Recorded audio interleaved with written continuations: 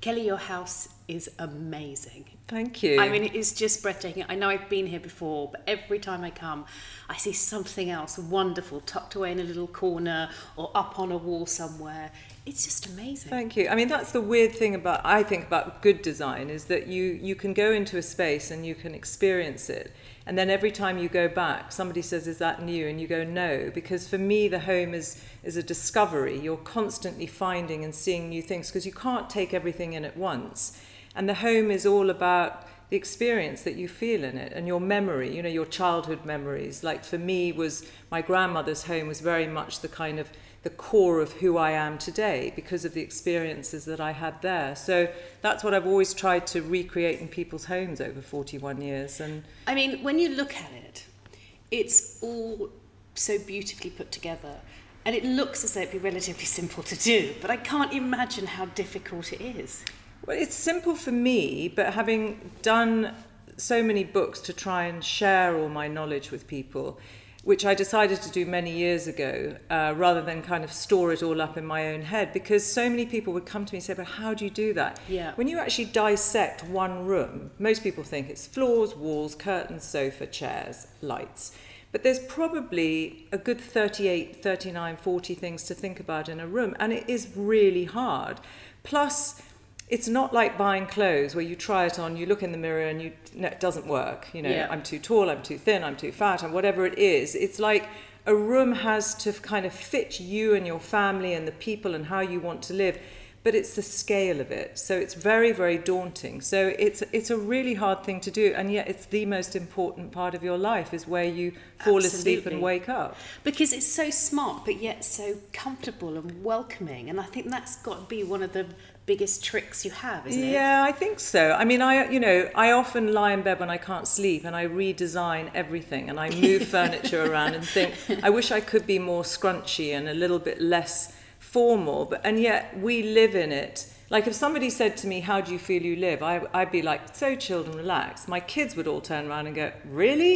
You've got a white sofa? You've got, you know." So Yeah. my vision of how I like to live is quite interesting in terms of how I then get into clients' heads because how you think you live isn't exactly how you need to. Yeah. And that's always been my magic is trying to get into someone's head and extract the information. I remember Jo Malone once said when I did her apartment years ago, she said, You've given me what I didn't know I wanted, but I knew I wanted. You know, it's like it's finding that little it. tiny thing because I believe everyone knows how they want to live. They just don't know how to make it happen And that's why they and that's you. what well, that's what I love what you know why I've done it for so many years and still jump out of bed and feel very passionate about it and excited. Well, there's no doubt you're very good at it. Were you always good at it?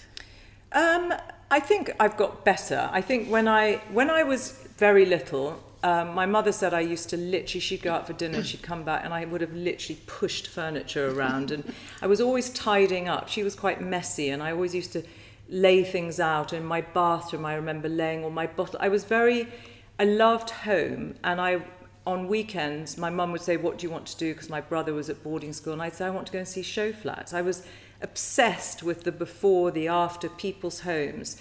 And I think when I first started, I wasn't good at design when I look back at it, but I definitely had that drive, that tenacity, that focus, that passion, that belief that I could do it. And it wasn't long until I came up with East Meets West and kind of got that confidence that that's who I was. And then I think I was okay. But you started really young, Yeah. didn't you? 16 and a half. Uh, Was that when you left school to go into work, or you left school and then fell into work? Well, my father was killed, and uh, I was really completely.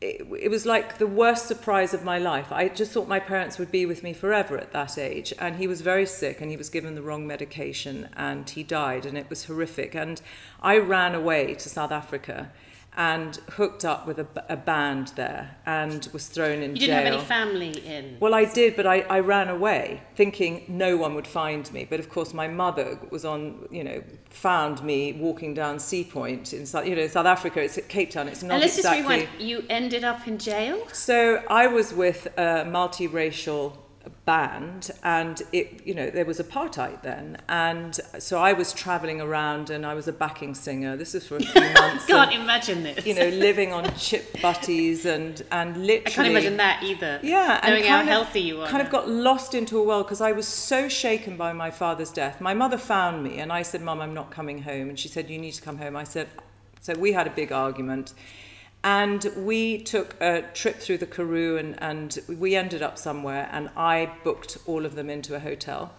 And of course that wasn't allowed and we spent a night in jail. And it when I left South Africa then to finally come home um, I didn't go back for many many years. I was so I was so young but I still understood it wasn't right. Yeah.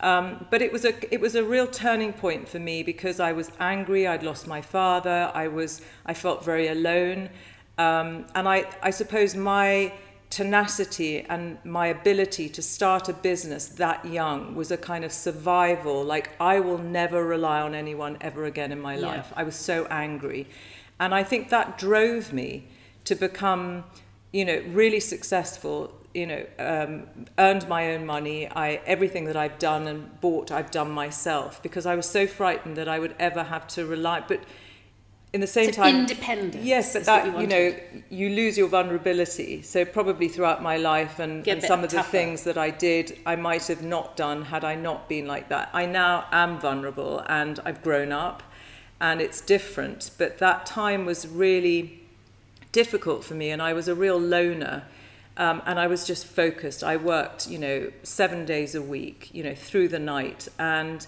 I was self-taught.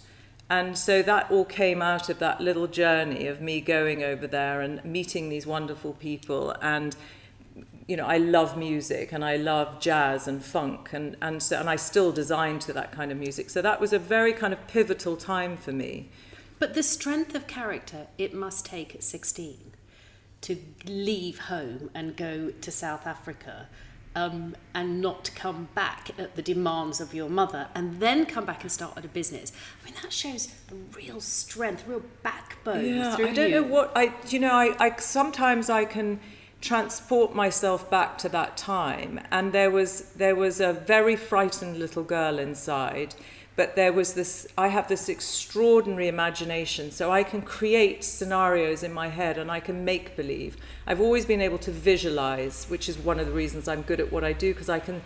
This room can be empty, and I can see it finished, so I can create fantasies. So probably a lot of my life then was a fantasy in my head, but I actually turned it into a reality. And there's an art in that, I think, and that's from um, just pure and utter determination. And my mother's a very strong character, and I love her so much, and we're great, great friends now. But we went through a very tough time because when my father died, I hadn't seen her for a year, so I, I felt very alone. So I kind of when I was in South Africa and I attached myself to these people who didn't know who I was, they had no idea who my grandfather was, who was this highly successful businessman in South Africa. I was just this girl with red hair who just loved music, loved to dance, and, And was a good singer. Was a good singer and was blown away by this underground. Knew it was naughty and it was bad, but wanted to be that way. And I don't know, it kind of. I, I've always had that thing where I liked things that weren't quite normal. But if I take a step back and I look at that, that could have gone one way or the Yeah. other, couldn't it? I mean, you were right then on the cusp of take going left and Sliding Doors. yeah. You know, Or one come- of my favourite films Yeah. is that thing of, you know, it's just brought shivers down me. You know, you can go one way and your life goes this way, and you go the other way, and it can completely go like so wrong. But I, my father was an extraordinary man, a, a great businessman. My mother is the most amazing woman who's still working at the age of 80. My grandfather was extraordinary. I come from good genes, and I think I was brought up to work and and you know to succeed and I like I like to succeed it's one thing that I, I like you know if I go into a competition I want to win it I want to be the best that I can and you know I used to use that analogy with the kids when they were doing exams and swatting for exams I'd say close your eyes visualize opening that envelope and you failed what does it feel like now Next day, open that envelope, visualize what it's like to win, hold on to that because that is what you're going to be able to achieve. And that was something I learned as a child. Um, and also having been bullied so badly at school, leaving school and doing all of that, I was very much in my own little head. But I think, in a way, I'm quite glad of that because it enabled me to be the person that I am today. So you you you come back, you set up a business as an interior designer. Yeah. And how do you get any work at 16? So it's always a friend of a friend. So my stepfather had a friend that he was in the war with, or the Air Force or something, and um, he wanted to have a kitchen done. And it was in Elvaston Mews, next to my old school, El- Elvaston Place. And I designed the most hideous kitchen that ever existed. It was brown and it was it. horrible. He was an alcoholic, so was the builder I found. And everything was hung upside down and whatever. But that was my first job. And from there, I met somebody who was having an affair with a Grand Prix racing driver who loved interiors. And she said, Why don't we just help him? And of course, it ended up being mine. I found a builder. The driver that drove for my building um, business was Damon Hill oh, wow. when we laugh about it now. Nothing was late arriving. And I built a business. And in those days, you didn't have Instagram, you didn't have, you know, Google, you didn't have Word the of mouth, internet. it was word of mouth. I got in my car, I drove, I found, I designed, I pulled things together, and I built this infrastructure of actually networking and meeting and talking to people. And, and it was good. And I remember the second job that I did was picked up by House and Garden, and, and that was it. I, I kind of never looked back. And every job I got was word of mouth because I never, I was too frightened to tell who I was working for because they were all famous at that point for some reason. And that stayed with me my whole life. So unless somebody said I'd done their home, I never ever spoke who I worked for. So it was literally word of mouth, and that's how the business started. But there's one thing being a very talented interior designer because there's lots of those. And there's another having The this wonderful global brand that covers everything from buildings to cruise ships to jewelry to home accessories. You've got the most fantastic website where we can buy, we can own a little bit Yeah. of the Kelly Hoppen style. I mean, that's a whole different thing altogether. When did you realize actually you were really good at business and you could build this global platform? Well, I think that I was interested in everything, and you know, Conran was was somebody that I looked up to. Um, you know, that I've known all my life. There were certain iconic people. Joseph Ettedgui, I used to go and see every Saturday, and we would talk. Anya Hindmarch. You know, Yeah. there was a group of us that were all just hungry. Not so much for making money. That was never the main objective for me. It was, it was to produce and to be able to kind of create this amazing network and, and this business. And I guess I was very good at, and I, I, realized at a young age that PR was a very good thing. And I went to a very small company and I said, look, this is me. I want to start getting my work out there. And so I was, I was quite smart in that thinking. And then brands started coming to me, like Wedgwood and people saying, well, we'd like to do a licensing deal. I then read up everything I could on Martha Stewart. You know, so I was hungry to read and learn. So I was, was doing that. And kind of overnight, and I say overnight, over a period of two years, it, Kelly Hoppen became an adjective. This is very Kelly Hoppen. Yep. I remember reading that as if it was yesterday and thinking, oh, I Yeah, like that. that's me. And then it became a brand and it kind of just escalated from there and it became very global. I had a store in Bergdorf Goodman and all the Neiman Marcuses, you know, Fox offered me a daytime show, but I decided I didn't want to leave London. You know, there were all these opportunities and I was able to do them all. I had this enormous amount of energy and I could compartmentalize things in my head. And I worked late into the night to be able to do it and bring up a family. I mean, you've got teams all over the world working on all these amazing projects, which is very different to working on your own and driving Yeah, around and doing easier. little projects. Um, well, I don't know. Is it easier to manage a huge team than it is to? Well, managing a huge team, I remember Anya once saying to me, it's very lonely being a boss. It is. You know, you think you're everyone's friend, but the, the, the bottom line is you're not. You're their boss. yeah. But I, I'm good at creating a team that are all very like minded. So I'm very lucky that my office is large, but that everybody gets on really well outside of school. But I think it's easier when you have your soldiers, and I call them my soldiers, my tribe, who all have the same vision. They're, they're passionate, they love every project. And, a long, long time ago, I worked with a life coach called David Zellman in New York, who, who said to me, if you want to grow your business, you think you're at the top, but you've got so much further to go. And I went, Really? I think I'm there. And he went, No, no, no, no he said you've got to be that's you at the top the umbrella but you have to allow everybody underneath you to be their own boss so that it grows.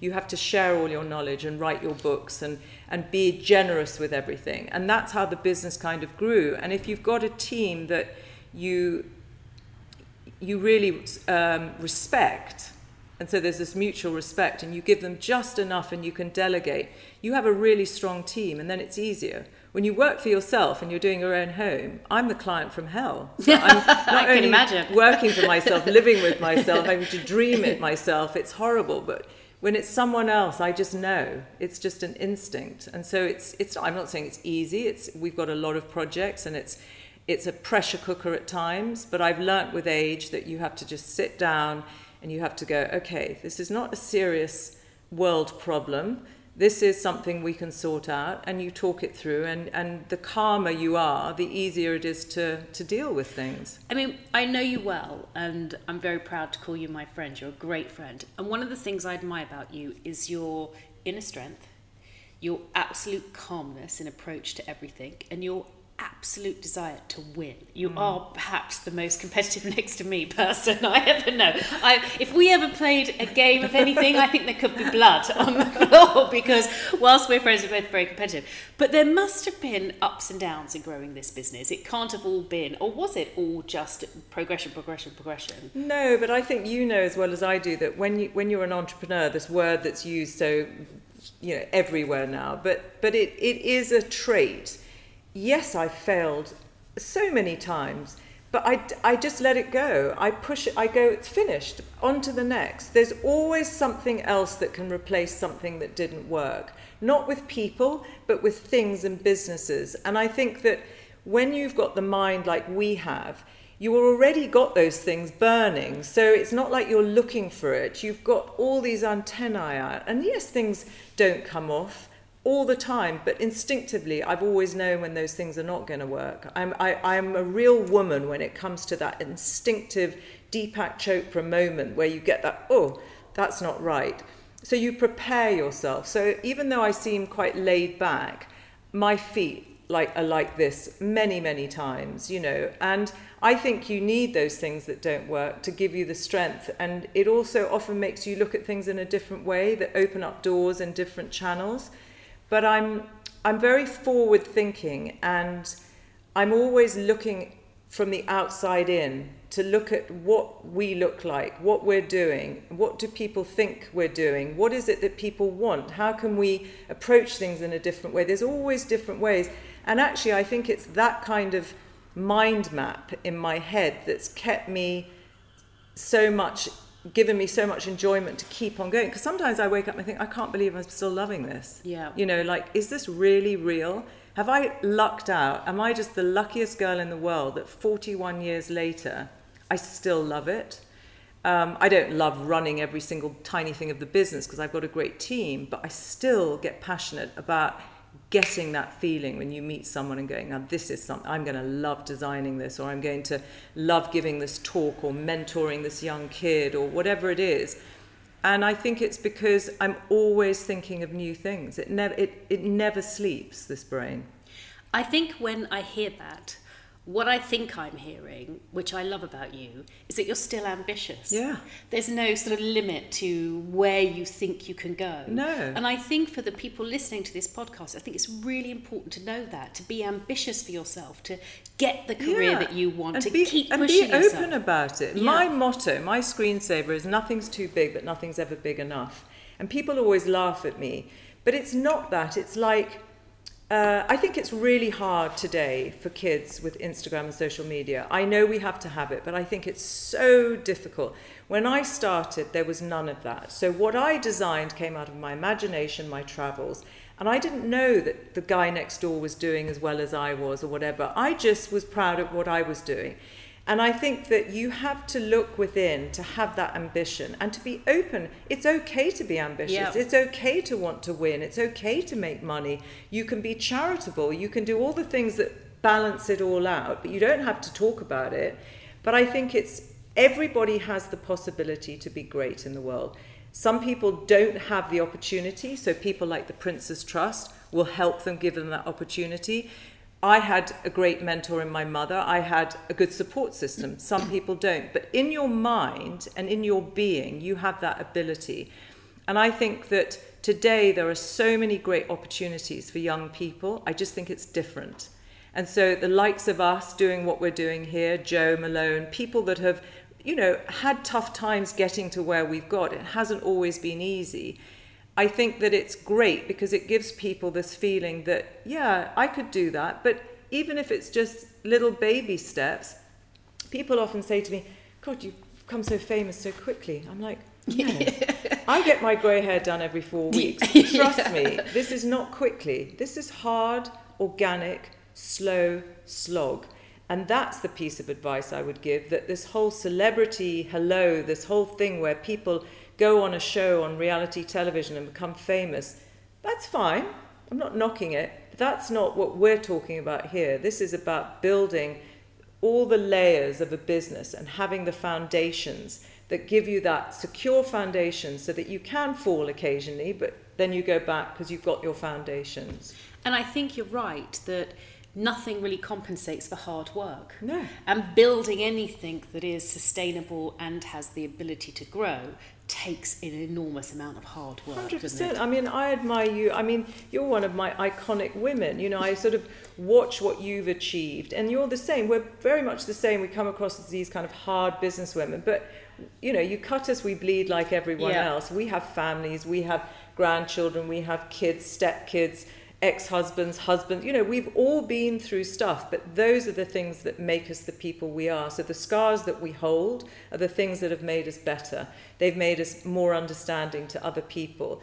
The fact I'm a grandmother now makes me more understanding to women in my business that have babies. Mm. You know, everything you experience in life opens another door. And I think if you can embrace that, and you can use that to grow your business and grow your friendship and your relationships. I think it, it's only it's it's a good thing. It's a good lesson. I want to hear more about your work with the prince's trust because i know you're so passionate about mm. it and i know you think it's very important and the help that it gives young people.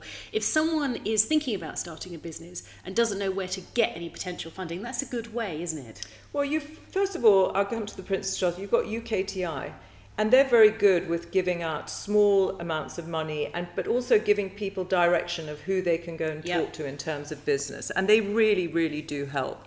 The prince's trust for me i mean there's so much at the moment on prince charles and how forward thinking he was all of those years ago and what an extraordinary man. But i was drawn to it because he really was making a difference. And to date they've helped 900,000 people and it's just giving people that infrastructure, but not once, going back to check and to check and to check. And all of the people, and I haven't met 900,000 of them, but the amount of people I've met and I've listened to and the stories and the, the, the most horrific struggles that I couldn't even in my wildest dreams imagine what even that, when you're in jail in South yeah, Africa because I was okay I had a family yeah. I you know it was like that was just an experience as a teenager. This is just like the worst things that could happen to you. And somebody comes along and says, We believe in you, we're going to help you.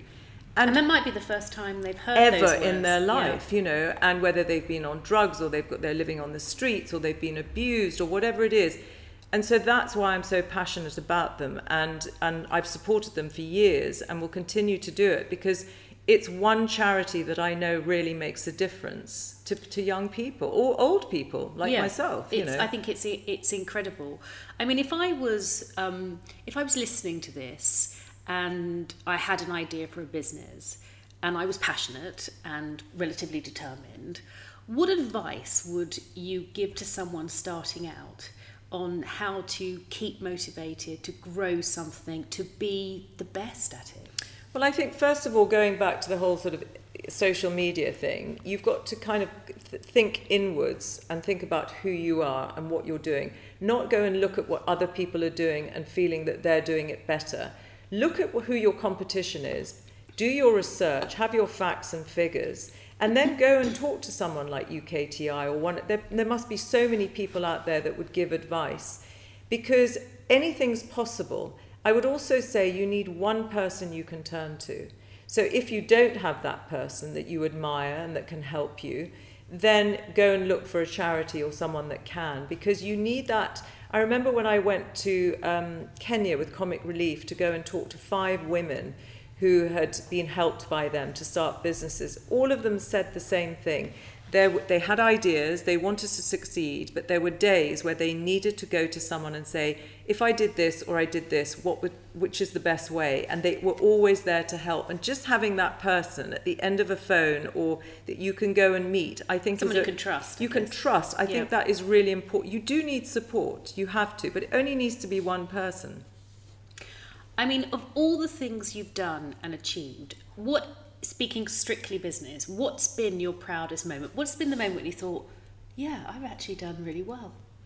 I, th- I th- honestly think, and it might be a cliche, was the, the day I, I found out that the Queen was giving me an MBE. I, I first of all, I got the letter, and it was a brown paper envelope, and I honestly, this is the God's honest truth, thought it was tax or something, and I didn't open it until the Monday.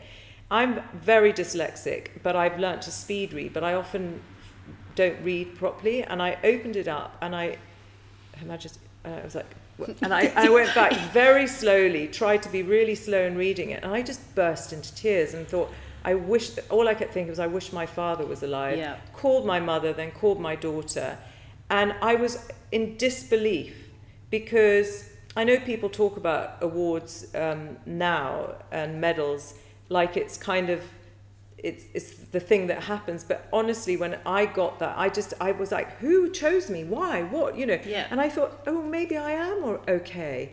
And my brother said, you know, um, you've got an MBE which stands for makes makes beige exciting, and uh, you've got an MBE for you know lampshades, and it was a joke. But actually, I was really proud of it, and I suppose that was quite late in my career as well. So I, you know, people say, did you think all the way along that you were good at what you did? But not really, because I always wanted to be better. I knew I was, I was becoming successful, but I suppose that's your country, that's your queen. Yes. It's like, and I'm very into the whole royals. and- No, me too. I, I remember when I got mine. In fact, I got a phone call to say, We haven't heard from you since the letter we sent. And I said, What letter?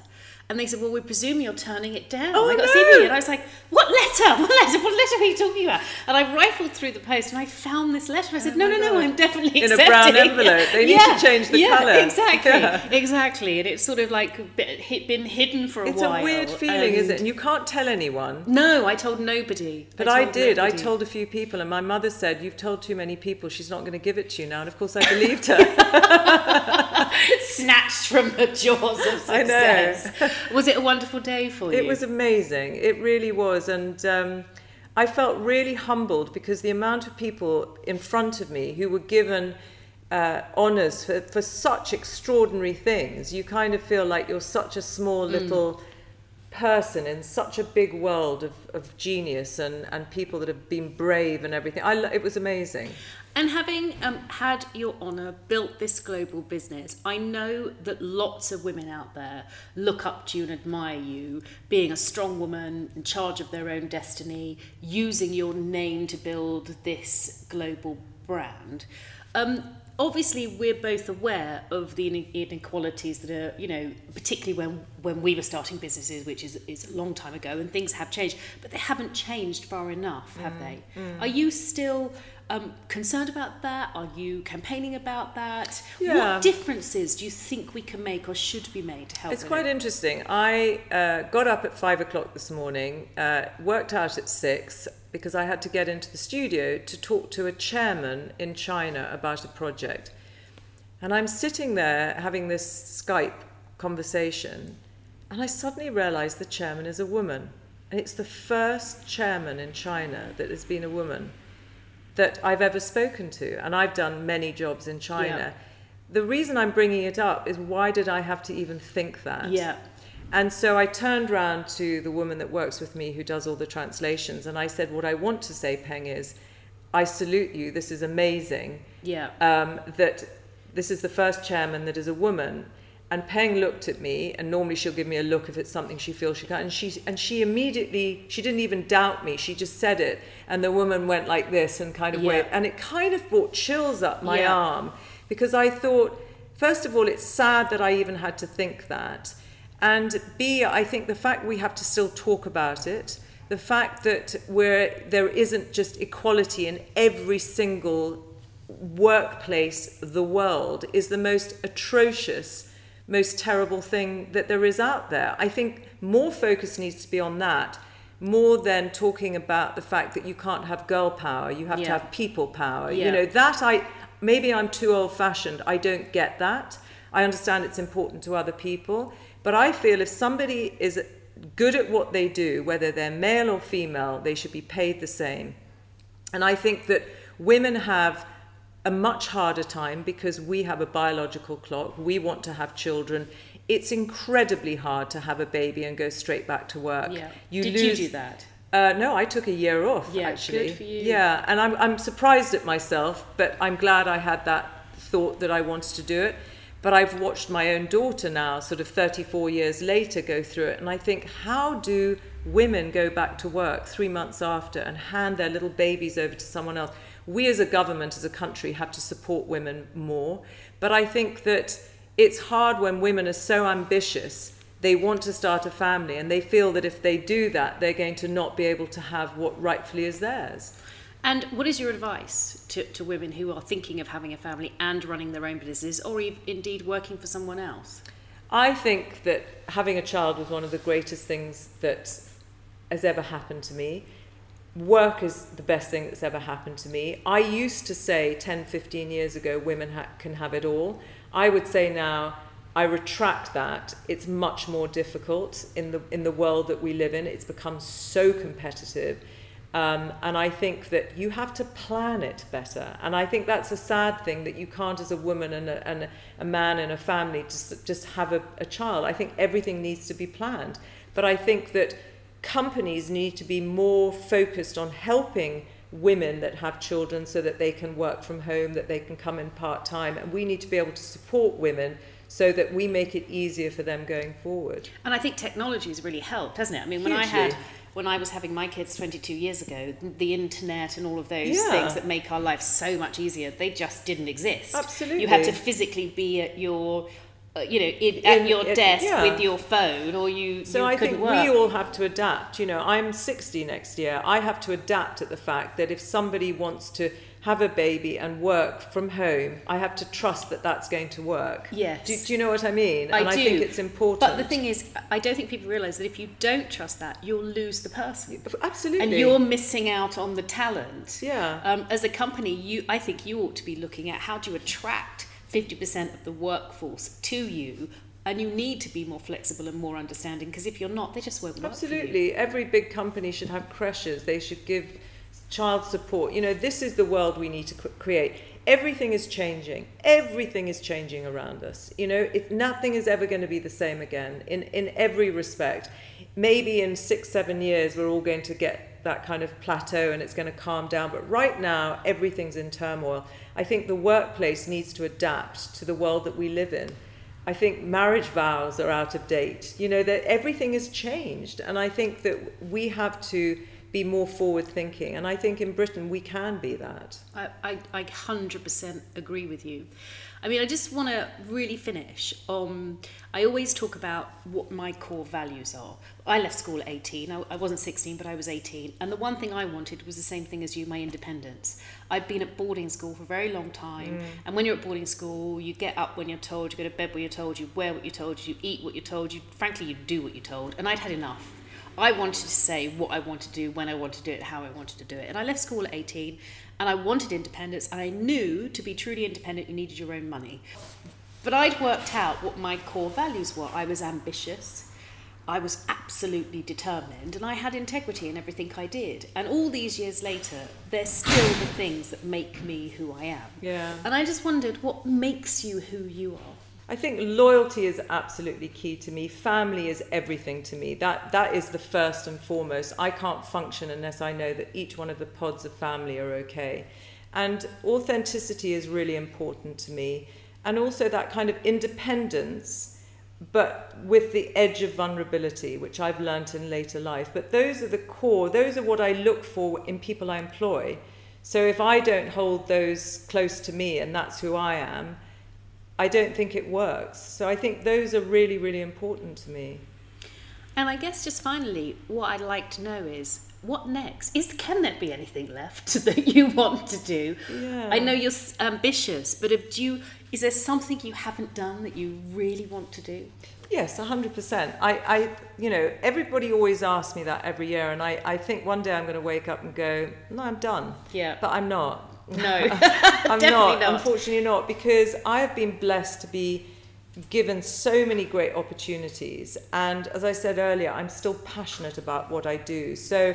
I still want to do more design, but I want to grow the company so it becomes one of the biggest global companies in the world. And I'm, I'm, I'm planning that at the moment. Um, I want to design a train. That's the last thing I've never done, you know, in terms of a, a space. Um, but yeah, I'm constantly thinking of new things that I want to do. I, it, it, the, this never switches off. It pretends to, but it doesn't. I've known you a long time. You're very happy, aren't you? Yeah, I am Yeah, happy. I I've sort tell. of got to that point where th- I have my days, like Yeah. all women do, where you feel a little bit insecure and you just need that hug. And but I'm I am happy now. And you know, often I listen to women saying, "I wish I was 20 years younger." I Yeah. don't because I'm in the happiest place I've been in my life, and I feel that I've got a wisdom and a knowledge now that I didn't have then. And that's really important to me. I want to use that and share that with people in a way that's positive because I'm quite a I am a very sensitive person, believe it or not, and I'm very affected by everything around me. And I just think we need to kind of like knuckle down, like all of us need to be more, um, um, what's the word, like supportive of each other, Community, yeah. community. And I don't know where that's come from, but I think it's really important today to have that because I think we're going to need it. I don't disagree. You're amazing. Oh, so thank you. amazing. So are you. Oh, no, no, no, you're more amazing. No, no, you're more amazing. we could be here all day Okay. doing that. so lovely. Thank you for spending the time Thank you. and welcoming us into your wonderful home. Thank you.